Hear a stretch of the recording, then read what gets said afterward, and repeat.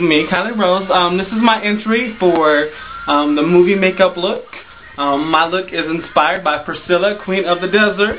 Um, there's a scene where they take their wigs off and they're just in face and their earrings.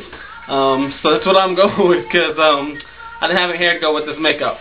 So, um, again, like I said, my makeup has been inspired. I'm going to change the song. Alright, so um, by Priscilla, Queen of the Desert. Um, so this is my movie makeup look.